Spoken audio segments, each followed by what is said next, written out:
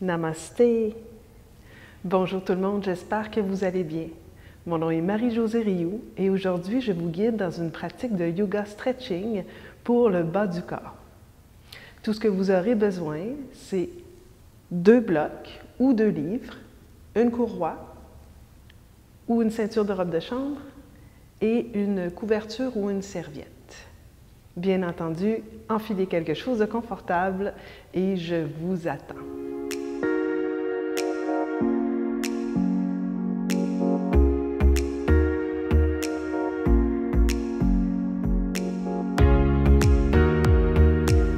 Commencer tout de suite avec la posture Baddha Konasana pour étirer l'intérieur des cuisses. Donc, je vous propose de vous asseoir sur un bloc. Je vais me mettre de côté à vous pour que vous voyez bien euh, ce qu'on va faire avec la courroie. Donc, j'ai une ceinture avec moi. Donc, je vais m'asseoir sur le bloc. Et là, je vais bien fermer l'articulation de mon genou. Je vais laisser ma jambe descendre sur le côté. Les deux pouces sont derrière l'articulation du genou, donc je presse la peau des mollets vers le bas. Même chose de l'autre côté. Ensuite, si je m'aperçois que mes genoux sont plus hauts que mes épines iliaques, je peux soulever mon bassin un tout petit peu plus avec un autre bloc. Je vais dérouler ma courroie et je vais la passer, premièrement, la boucle. Je vais passer la courroie en dessous des pieds. Voilà. La boucle va rester au sol pour l'instant. Ensuite, je passe la courroie autour de à l'intérieur de ma jambe gauche. Et là, je vais la passer, excusez-moi, je vais juste enlever mon micro pour cette posture-ci. Je vais le passer en bas, juste en bas des épines iliaques. Je vais le repasser à l'intérieur de la jambe droite. Je vais passer la courroie à l'intérieur de la première anneau du côté du coton. Et une deuxième fois par-dessus euh, la petite bande pour qu'elle puisse vraiment venir se fermer et supporter mon bassin. Donc, vous voyez, là, ma courroie est vraiment dans le bas du dos, passe à l'intérieur, juste en dessous de mes épines iliaques. Et je vais la serrer suffisamment pour que je ressente comme un support dans, euh, dans le bas du dos avec ma courroie. Donc voilà. Et je veux le faire de façon à ce que je puisse tirer la courroie vers moi. Donc ma courroie est relativement neuve, donc c'est pour ça qu'elle elle, elle m'offre quand même une bonne résistance et en même temps un bon support. Donc, dans la posture Baddha Konasana, je peux placer le bout des doigts dans le sol derrière, ou si vous avez euh, deux blocs, vous pourriez par exemple, derrière, vous pourriez euh, placer les bouts des doigts sur le bloc derrière ou tout simplement placer les mains sur euh, les chevilles pour vous aider à allonger la colonne vertébrale. Prenez un instant juste pour euh, connecter à votre souffle. Prendre une profonde inspiration par les narines. Et avec une expiration par la bouche, relâchez toute forme de tension inutile. Encore. Inspire par les narines. Expire par la bouche. Une dernière fois, inspire par les narines. Expire par la bouche.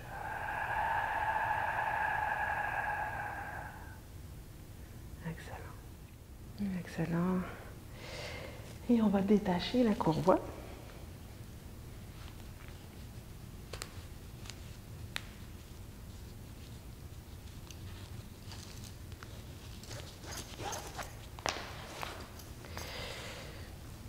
On la laisse de côté, pas trop loin, on va s'en servir, on ramène les jambes ensemble. On enlève le bloc. OK. On laisse à côté. On va tout de suite descendre au sol. Je vous invite à placer la couverture sous pour mettre sous la tête. Main derrière les cuisses, je déroule lentement une vertèbre à la fois. OK. Donc ici, je vais tout de suite ramener la jambe droite vers la poitrine et je vais entrelacer mes doigts derrière la cuisse droite. Je vais faire l'extension de la jambe gauche. Donc, je presse fermement le talon dans le sol et je presse l'arrière de la cuisse dans le sol et je compresse l'abdomen avec la jambe droite. Donc, je reste ici quelques instants et je focus sur ma respiration. Donc, je tente d'approfondir un peu plus l'inspiration et d'allonger l'expiration.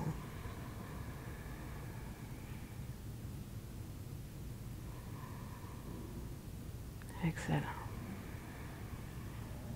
Encore deux respirations ici.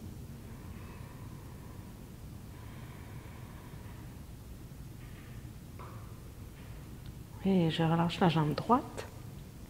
Je ramène tout de suite la jambe gauche vers la poitrine. J'entrelace, euh, j'entrelace les doigts derrière la cuisse et j'allonge la jambe droite. Je presse le talon droit dans le sol. Je presse l'arrière de la cuisse droite vers le sol pendant que je compresse l'abdomen. Détendez les épaules, détendez la mâchoire. Prenez une profonde inspiration, toujours par les narines. Et une longue expiration. Sans forcer, Concentrez-vous sur les sensations de l'intérieur.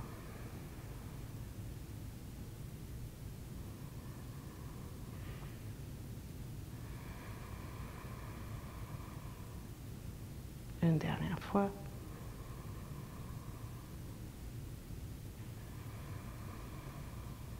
Excellent. On dépose le pied au sol. Vous allez prendre votre bloc et vous allez soulever le bassin quelques pouces, placer le bloc en dessous du bassin, à plat. Et là, on va refaire la même chose, main derrière la cuisse.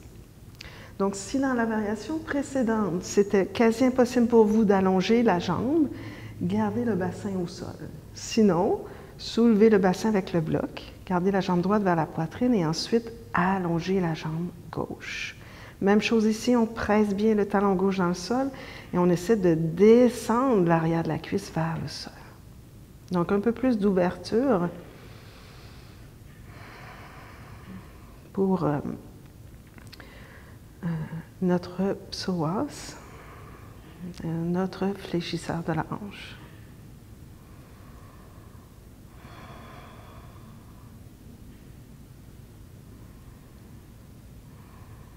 Portez attention à votre souffle.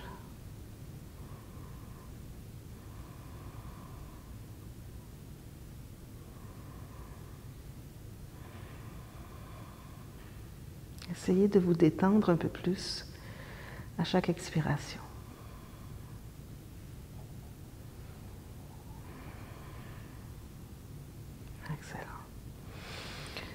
On plie la jambe gauche, on dépose le pied droit au sol, on ramène la jambe gauche vers la poitrine, on entrelace les doigts derrière la cuisse et ensuite on allonge la jambe droite. Pied flex, talon qui pousse vers le sol, le haut de la cuisse qui pousse vers le sol également. Cinq longues respirations ici.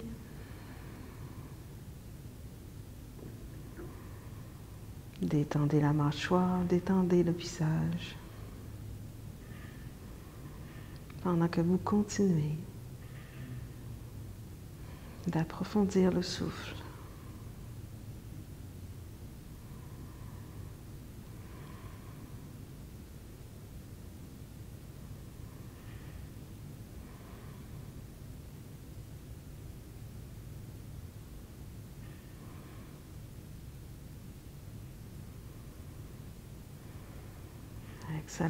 On replie la jambe droite. On plie la jambe gauche, on monte sur, on soulève pardon, le bassin quelques pouces, on enlève le bloc, on redépose le bassin au sol, laissez le bloc sur le côté. Et on va prendre la courroie qu'on va attacher encore une fois. Donc vous passez la courroie la première fois du côté du coton, comme ceci, et vous le repassez par-dessus la petite sangle du milieu, la petite, pour faire une boucle fermée, comme ceci.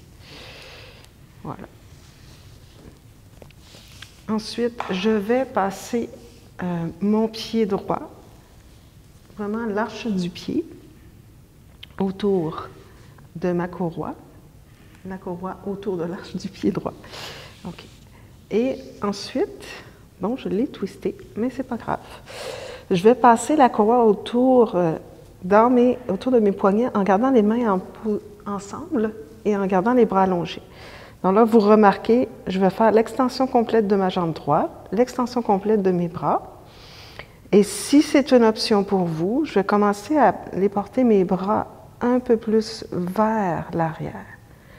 Donc, important. Si vous fléchissez la jambe, vous êtes comme ceci, il n'y aura pas d'action sur l'arrière de vos cuisses. Donc, on veut commencer par l'extension complète de la jambe jusqu'au bout des orteils, en gardant le pied flex. Et on approfondit, approfondit pardon, la posture selon, euh, selon vos limites à vous, selon votre résistance. Et ensuite, si ça se peut, si le bas du dos le permet, on allonge l'autre jambe. Et la même action que tout à l'heure, on pousse le talon dans le sol, l'arrière de la cuisse dans le sol, pendant qu'on allonge la jambe vers le ciel. Et là, vos bras font comme euh, une gravité en plus. Hmm. Donc, on inspire. profondément et on expire, on allonge les deux jambes. On laisse les bras de plus en plus lourds, mais quand même en extension.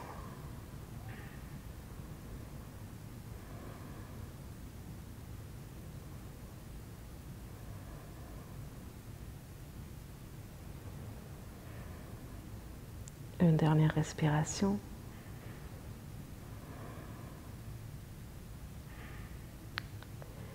Et on inspire. On prend, on redresse, on prend la courroie avec la main droite seulement. On va replier la jambe gauche et on va, euh, tout en gardant le bassin le plus neutre possible, laisser descendre la jambe droite vers la droite et le genou gauche vers la gauche.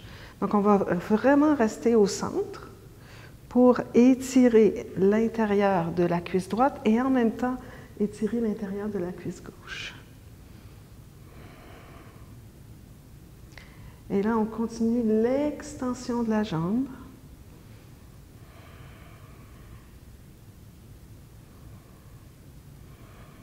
Et on laisse la gravité nous aider dans cet allongement de l'intérieur de la jambe.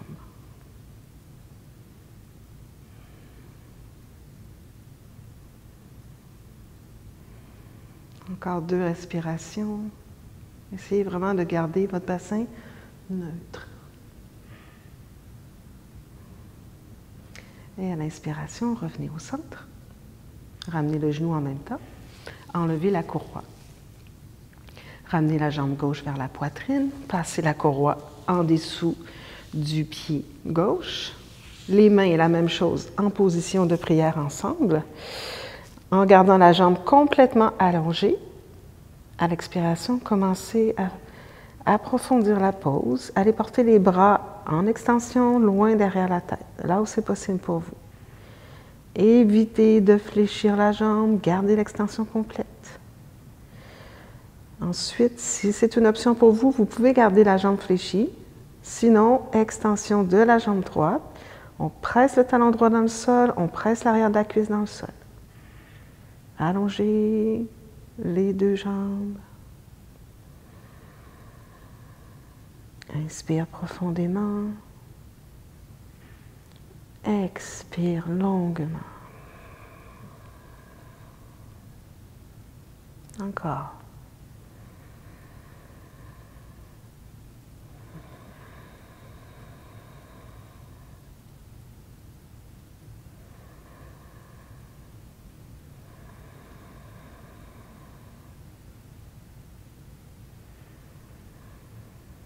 Une dernière respiration ici.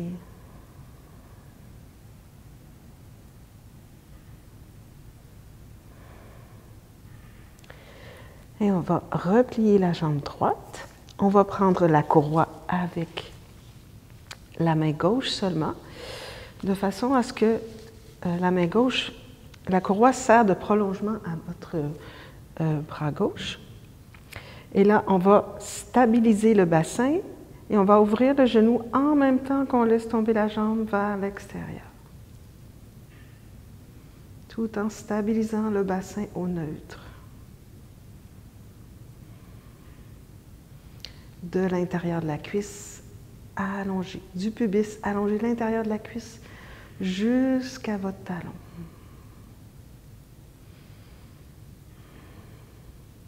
Détendez la mâchoire, détendez le visage. Restez ici dans la présence du corps et de l'esprit.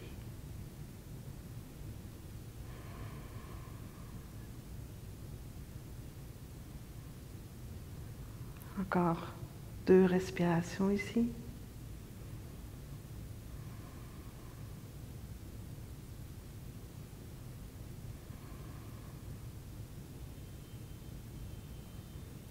Prochaine inspiration, ramenez le genou et la jambe vers le centre.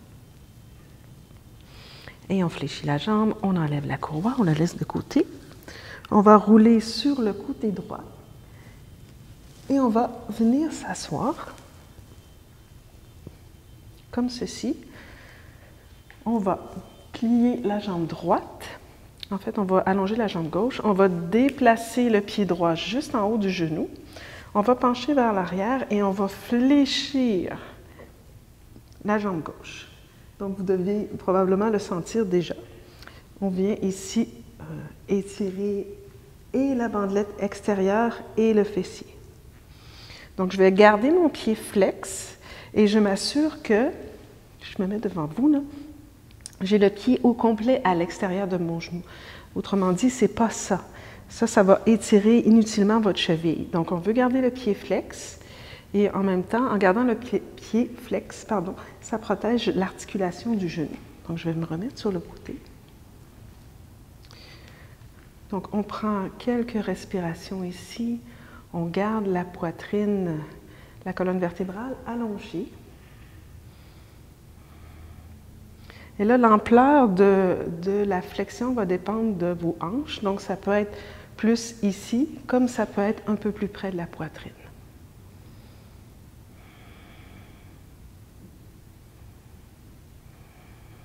Soulevez la poitrine.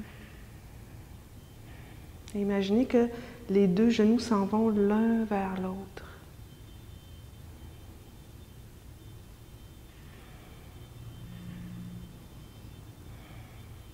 Si on voudrait aller un peu plus profondément dans la pose, on viendrait placer le pied à l'intérieur du coude. C'est seulement une option. Et on viendrait entrelacer, placer le biceps autour du genou, entrelacer les doigts et ramener la jambe vers la poitrine pendant qu'on allonge la jambe gauche. Donc, choisissez la variation qui vous convient. Si cette variation est trop avancée, pas de souci, gardez la première variation avec le pied juste en haut euh, du genou. Vous pouvez faire des petits berceaux avec votre jambe droite. Magnifique. OK. On redépose le pied droit au sol. On fléchit la jambe gauche. On s'en va de l'autre côté.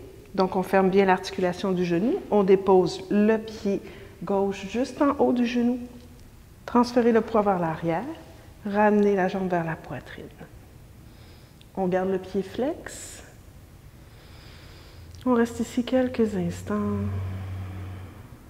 On continue de soulever la poitrine pour ouvrir le fessier gauche, la bandelette iliotibial à gauche.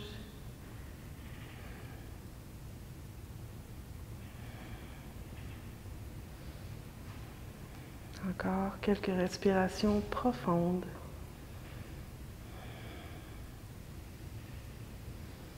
Ensuite, si c'est une option pour vous, vous pouvez venir placer le pied ici à l'intérieur du coude et entourer le genou gauche avec le biceps gauche, entrelacer les doigts et éventuellement allonger la jambe. Donc, le pied s'en va vers l'épaule euh, droite et on sent bien l'étirement dans la fesse, dans la bandelette. Allez là où c'est bon pour vous. Vous pouvez faire des petits berceaux avec votre jambe.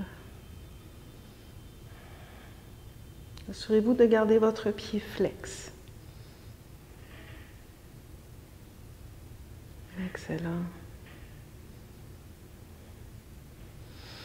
Et on redépose le pied au sol, on fléchit les deux jambes. On ramène les jambes et on va venir euh, en posture quadrupède. On va amener les blocs avec nous. On va aller porter le pied droit devant et on va reculer le genou gauche suffisamment loin derrière. Plusieurs variations ici s'offrent à nous, donc je vais placer les blocs à la hauteur moyenne. Donc, soit je vais déposer les mains sur les blocs, je peux descendre les blocs un peu plus bas, ou éventuellement, je pourrais aussi déposer mes avant-bras sur les blocs. Donc, choisissez la variation qui vous convient. Pour ce qui est du genou, donc, on évite de le laisser ouvrir à l'extérieur. On garde quand même le genou qui s'en vient vers le centre. On tire le cœur loin devant. Et on peut continuer de presser le dessus du pied arrière dans le sol.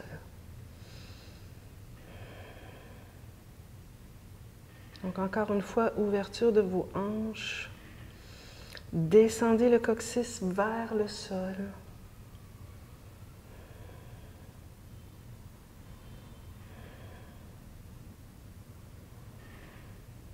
C'est une posture euh, qui est plutôt dans une intention de lâcher prise, mais tout en gardant vos fondations solides.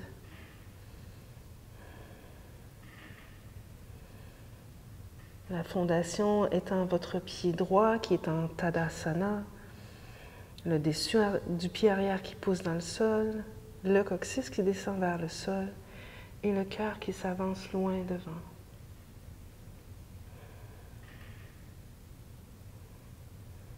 Encore deux respirations ici.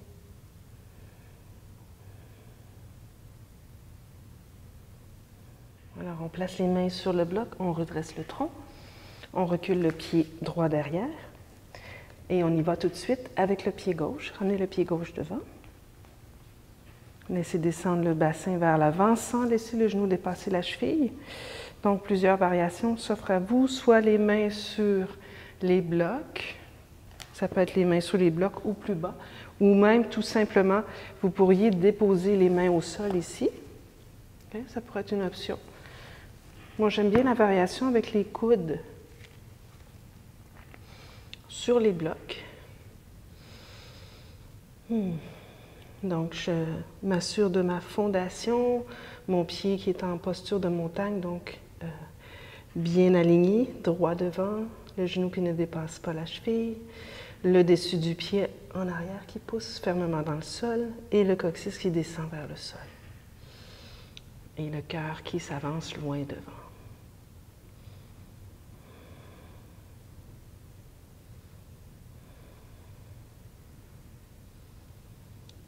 Quelques profondes inspirations ici. Et longue expiration.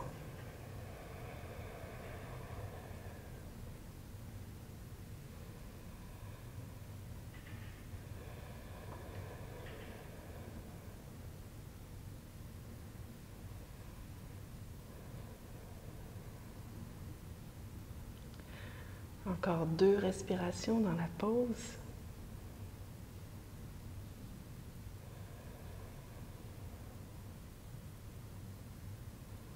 Hmm.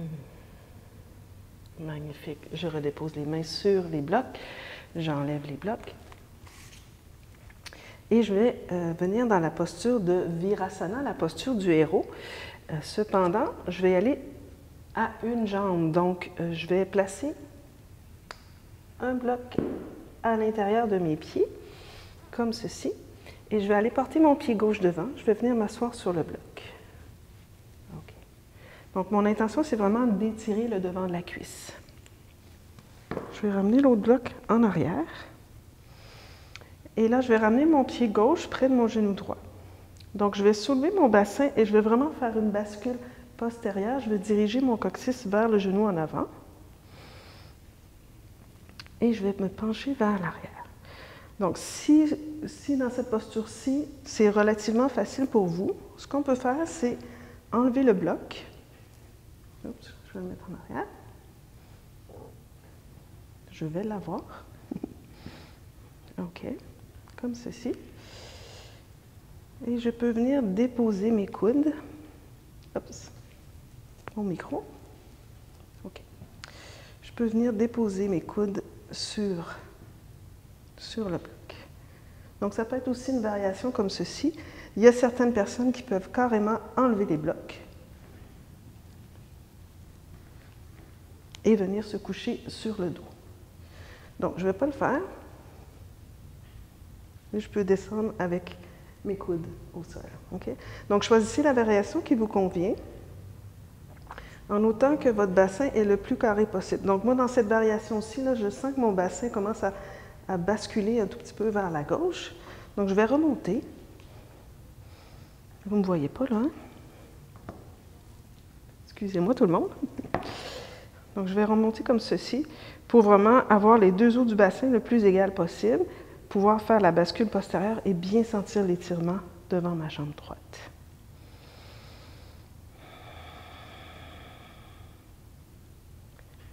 Encore quelques respirations.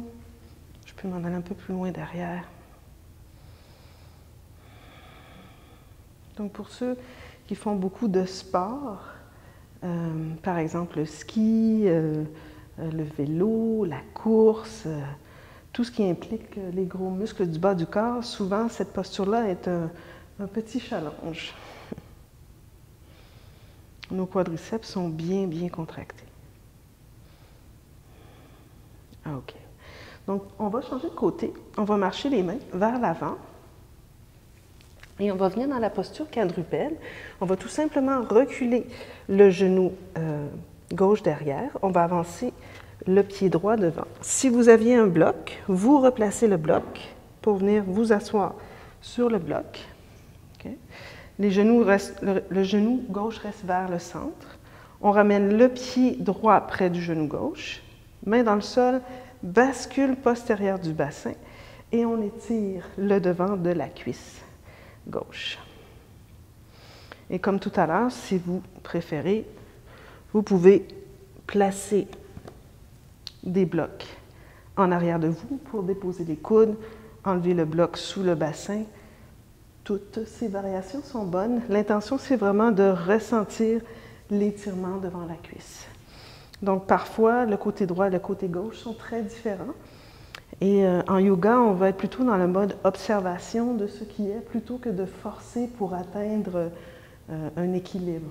Donc, euh, je vous invite à juste observer la différence entre les deux côtés.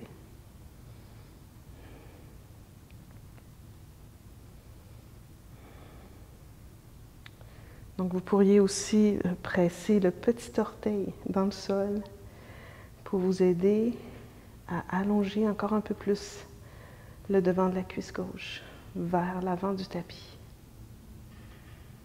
Si ça se peut, on recule un peu plus bas.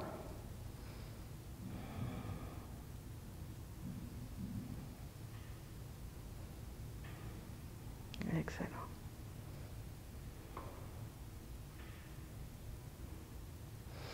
Et on inspire, on redresse, on avance devant.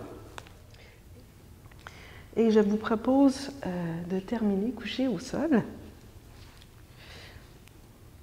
Je vais encore une fois enlever mon petit micro, main derrière les cuisses. Je déroule lentement une vertèbre à la fois. Déposez les pieds au sol. Placez les blocs, excusez-moi, de chaque côté. Laissez tomber les jambes vers l'extérieur. Allongez les bras le long du corps.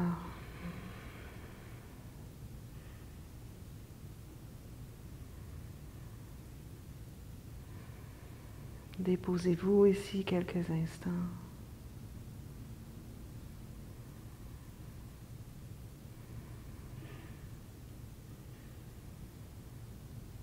Laissez aller toute forme de contractions inutiles pour laisser tout l'espace à votre souffle.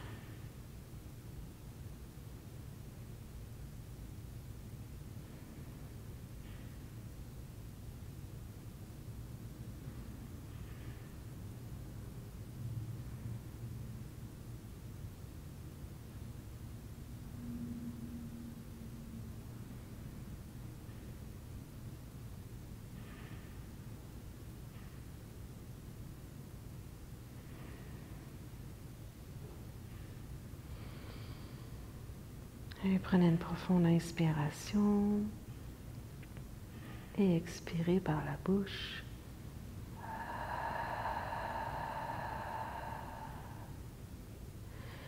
Et lentement, ramenez les jambes une vers l'autre.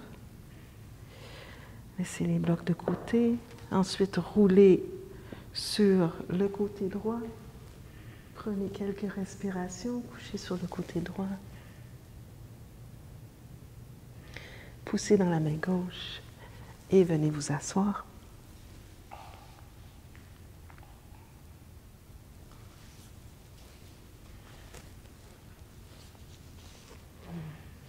Ramenez les mains à votre cœur.